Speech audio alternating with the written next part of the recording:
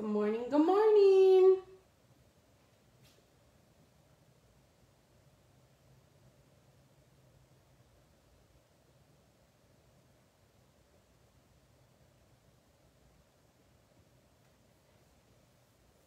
Happy Wednesday, happy Wednesday. It's time for What's She Making Wednesday, our weekly card class tutorial. And today I'm going to be using our two stamp sets actually, and they are standalone stamp sets. So one is Caring Leaves. There's no dies to these, so it's just a standalone stamp set. I love this because it's a two-step stamp and it's also a distinctive stamp. So what that means is it's two steps. So it's the outline and then it's the inside of the image. And then distinctive in this inside of this image shows all the different shading of uh, these leaves. So what's fun about that is instead of having to color and shade, the stamp is gonna do it for you, creating that image. So I love that. We're gonna also be using the sketched plaid background stamp, which is super fun. And then we're gonna create this card today. So you're simply the best. You could use it really for all occasions. You could put happy birthday inside. You could put um, thinking of you. You could just write a hello note, all kinds of things. We're going to be using some fun um, ribbon and all kinds. And I'm going to share a new technique with you, all kinds of fun for today's card. So like always, if you want the measurements or the supply list or the step-by-step -step instructions, you can find them in two places. If you're subscribed to my weekly Buzz Bulletin, it's a free email I send out with a free printable PDF tutorial every single week with our weekly card tutorial. You can get that in the description below. Or if you go to stampinqueenbee.com, that's my blog, and you can find all my past um, all my past tutorials in there. You can print them. They're all totally free, um, all in PDF, and they have the supply list, the measurements, and the step-by-step -step instructions. So let's get started with today's card. So the first thing I'm gonna do is we are using Very Vanilla, Very Vanilla everything. I love Very Vanilla. I think it's so great for fall. It's so great for anything that you want kind of softer. So I use Very Vanilla for almost all my sympathy cards, my fall cards. It's great for Christmas. We have a lot of designer series paper right now that has Very Vanilla in it and some ribbon that has Very Vanilla in it. So I love it. So we're gonna start with some stamping. So the ink colors we're gonna use today is Wild Wheat and Copper Clay. So let's stamp. We'll start with some wild wheat. We're gonna be using the bigger of the leaf images. So we'll start with the outside. Let me make sure I'm on camera here for you. And so we're just gonna go ahead and stamp a bunch of these leaves. And this is what I like to do. I really like to just take a full sheet and stamp a whole bunch of these and then that way they're ready to go. So I am using five of them on today's card, but now I'll have a whole bunch that I can use for future cards, right? Okay, so we've got that. Now we've got copper clay. So I started with my lighter colored ink and then I'm just gonna take this directly into copper clay because it's darker. And we're gonna do our copper clay outlines of these. And let's see, I bet we can get more here at the top. So I love to just do a full sheet of anytime I'm stamping with a new set, even if I'm not gonna use them all, it lets me really get a feel for how the stamp works but it also gives me extras. So then I just will keep them inside my stamp case. So you can see like ones I did prior, I already just have them ready to go. So if I want to create another card, I have extras there in my stamp case for my next project, right? Okay, so now we're gonna take the inside piece of that same leaf and we are going to bring in a scratch paper here. So I've got my wild wheat and we are just gonna do a few variations of this. So we're just gonna line it up. And I like this one because it's not exact. So it goes a little bit out. So then I'm gonna take some of them and I'm gonna stamp them full strength. Some of them I'm gonna stamp off and give them a lighter, right? See the difference? So you want some variations. And then some of them, I'm gonna do the same thing, but into copper clay. So I'm gonna mix the two. So that way we kind of have four different variations, right? We have the dark and the light with our copper clay, and we have the dark and the light, well, the full strength and the stamped off in the wild wheat. So we'll just continue this.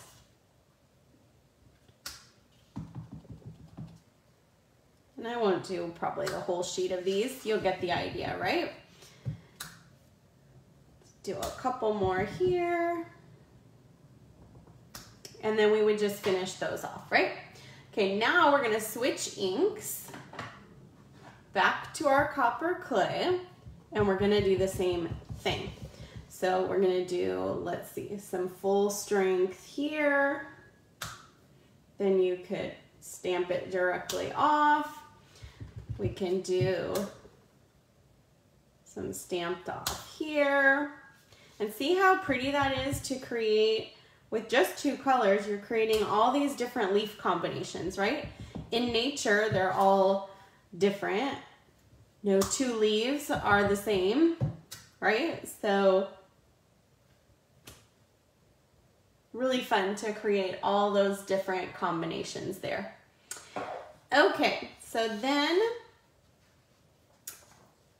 our stamping of our leaves is done and what we will do is we will fussy cut these out. So I will do one for us here. But then Magic of TV, I already cut a whole bunch out for us. but I like these because they're real simple to cut out. There's not a lot of big, you know, in and out spots of these leaves. They're real easy. They're real easy fussy cutting.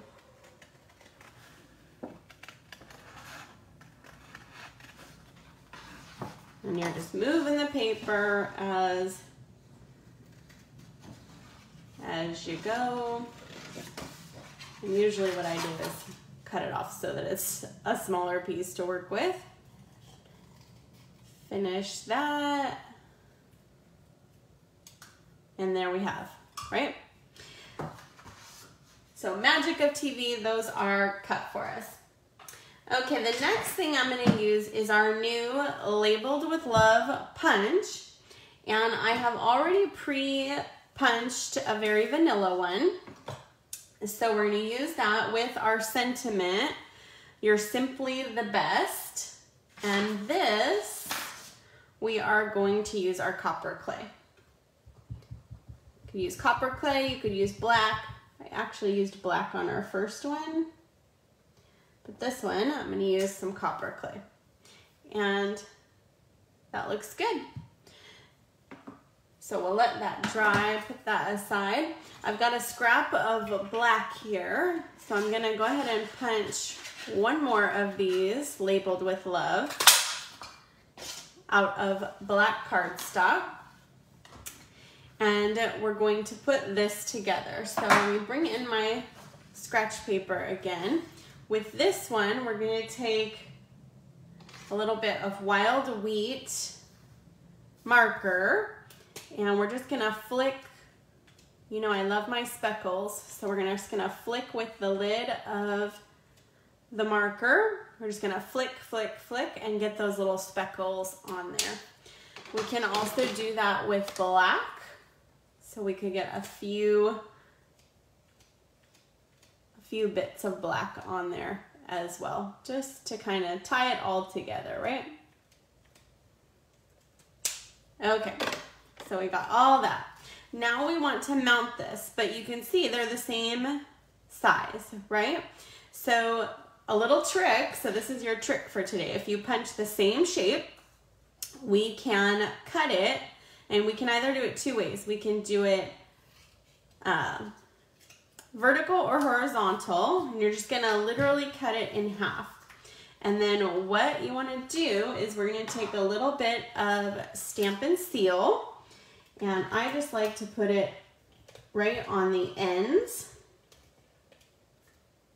this is what I have just found to be the easiest, is to just put a little bit of that adhesive on the ends.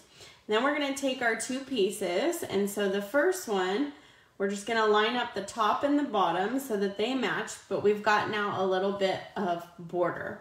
And we can do the same thing with this size, this side. And so we've just kind of elongated that die to give ourselves a little bit border. And you can do the same thing the opposite way. So let's actually do that. So here's another black and here is another one of our sentiment strips. So let me just ink this up. We'll stamp another one real quick. This one, let's just do the black on this one. Give it a little bit.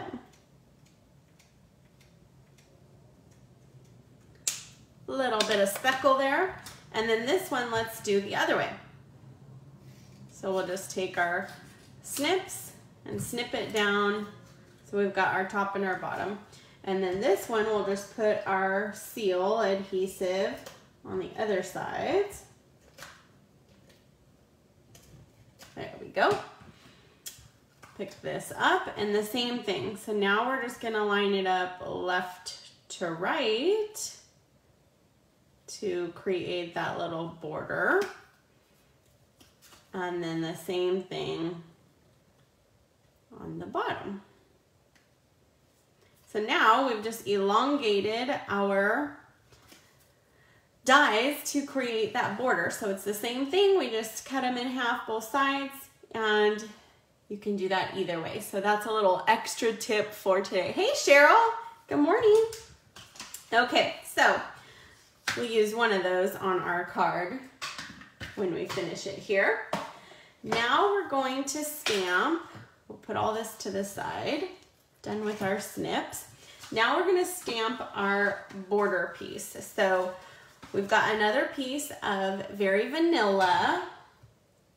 We're gonna grab our background stamp. And so I purposely didn't mount this one because I want you to see how I do this. So we're gonna grab our biggest block. Got our biggest block, the F block, and we're going to put that right on to our acrylic block. So we've got our whole big background stamp here. I've got my copper clay ink, and so these big stamps are really hard to ink up. They're heavy, right? And so to ink them up regular, like dipping them into the stamp pad, it's difficult for me. So I like to ink them upside down. So we're just gonna go ahead and ink this up while it's on its back here. And we're just gonna go over the whole thing a few times, just making sure that we evenly Got the ink all over that. Okay, looks good. And then we're gonna take, and you can put the paper to the stamp or the stamp to the paper. This one, I like to put the stamp to the paper. Sometimes I do the opposite way. And we're just gonna put this over the whole thing and stamp down. And I kind of hold it, you can press in all the areas. And then usually it will pick up your paper. And so you want to just carefully peel this back. And there you have our fun background, right? So I leave my scratch paper underneath because you can see the stamp is a little bit bigger than the paper that I cut. So that is how we do that background image. And now we really get to put um, most of this together. So we've got a piece of basic black. One of the tips that um, I get often asked with new card makers is how do I make my cards look extra wow? And so one of the easiest ways to do that is adding layers. So the more you layer your cards up and mat them, I think the more wow they look. Gives them some dimension. It really makes them pop, right? Like even just this background, it makes it pop all that much more with that bit of black right behind it, right? We've got our very vanilla base. So we'll just go ahead and fold, fold this in half, grab our bone folder so we can burnish that edge. Make sure our card lays flat. Actually, let me bring this back in and let's stamp a leaf inside. I didn't do that on my original one, but we can surely do it on this one, right? And we'll give it a copper clay inside. There we go. Just gives it a little something inside. Okay, now we're gonna go ahead and before we mount this on, we're going to add some ribbons. So we've got two ribbon that we're gonna use today. This one is our black and very vanilla. So see, it matches. It's not black and white, it's black and very vanilla. And so we're gonna take this piece before we mount it down and we've also got this copper clay linen thread, one of my new favorites. So it comes in a three pack. It comes with copper clay night of navy and garden green, all three, and they are truly a linen thread. So they are that kind of thicker, um, it's got a little more sturdiness to it than maybe a twine.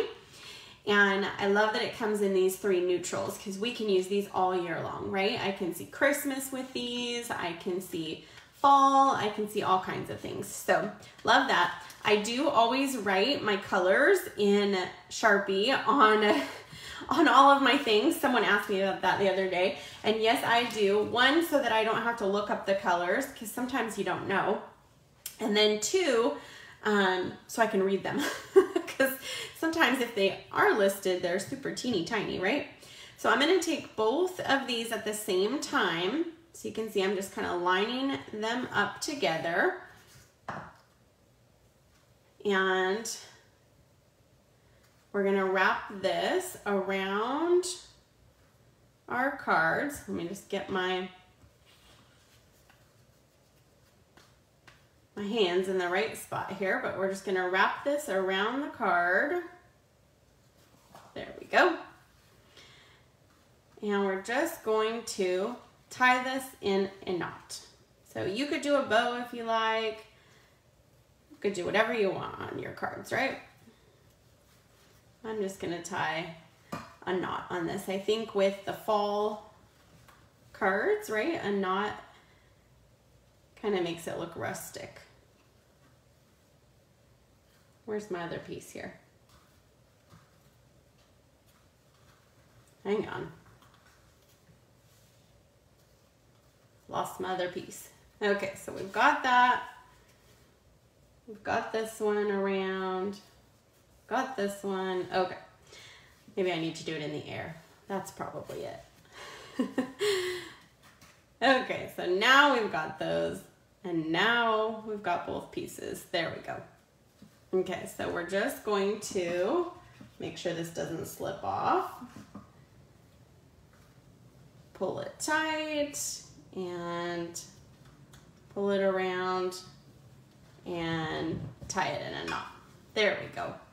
Okay, so now we're just gonna take our ribbon scissors and with these two together, because I want them to be the same length, right? We're just going to trim those off for now and we will trim it up up once it's all attached. So then I'm just gonna move this to where I want it, which is just kind of towards the left here, but you can see we've got both of those ribbons together. Now we're going to adhere this down. So we're just gonna add our liquid glue to both of those sides. You could put a little bit here too if you like, but it'll hold it in place. And we'll take our base here, we'll center that on our base.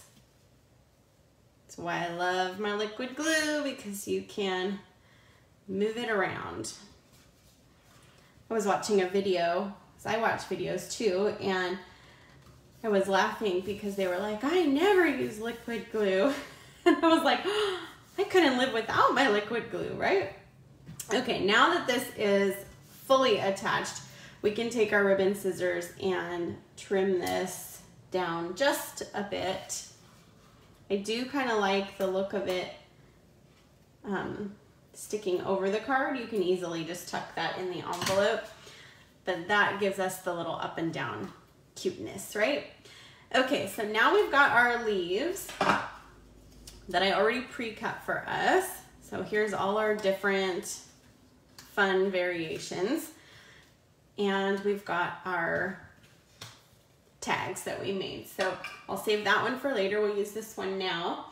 And so the first thing I'm gonna do is I'm gonna take my seal again and on the bottom here, I'm just gonna put a tiny bit of that. We're gonna take one of our leaves. I think we'll do a wild wheat one. And we're just gonna kind of line this up so that it's sticking out, now it's stuck to that, from the bottom of our sentiment. And we'll set that aside. And then we're gonna take our leaves here and we're gonna decide which way we want them to go. So I did four of them on my last one. And I kind of liked them to be opposite.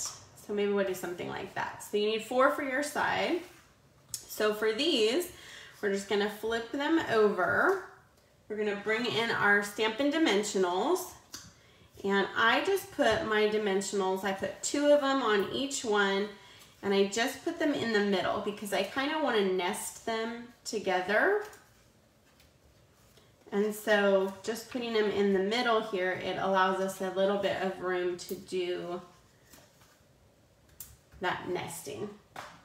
Okay, so we'll just start at the top. We'll peel off our backings here. And we're just gonna start on the top and we're just gonna kind of decide where we want these as we go. So you can see we can kind of tuck them under since we left that room. You can kind of angle them a bit. And if you put them real close into each other, then you um, can fit more down the side if you like. You can fit less. I just kind of liked them just slightly tucked under. And then if you notice, I kind of switched the colors, right? So the same color combinations that we stamped, I kind of put, um, you know, I varied it when I put these down. And you could even do the stems over, like if we wanted this one to be kind of like that, you could do that as well. Then we're gonna take our sentiment. Now for this, I put my dimensionals only on the left and the right because it's going to go over our ribbon here. So you wanna leave a little bit of space in the middle there so that it's not raised up over your ribbon. Okay, so we've got that, and then we'll just figure out where do we want to put this. So I think we'll go right kind of in the center, and we'll press that down. And if, like I just got that a little bit off, there we go. Sometimes I have to hold it up so I can see. There we go, that way it's level. So then that's everything attached. Easy peasy, right? So now we need some bling. You know, Tracy can't finish a card without adding some bling. So the perfect bling for this is our in color, our 2325 in color opaque sparkle dots. I love these. So these come in all of our in colors, the copper clay, the wild wheat, the moody mauve, the boho blue, and the pebbled path. So I love these. We're gonna use the copper clay today. And so we'll just grab these and we're gonna put them on our sentiment. So we'll put two over here and we'll put one right over here. You could add them around as well if you wanted to add even more. And you can absolutely do the wild wheat even because it would go, right? Gotta have some bling. So there we have our You're Simply the Best card for today's card class. So check out my blog or your Buzz Bulletin weekly email for all of the tips and tricks, the measurements, the step-by-step -step instructions. And I will be back again tomorrow with another fun video in our um, tutorial Thursday where we are taking different templates and different sketches and having those as patterns for our inspiration in our card room. So stay tuned for tomorrow's video and I will see you guys soon.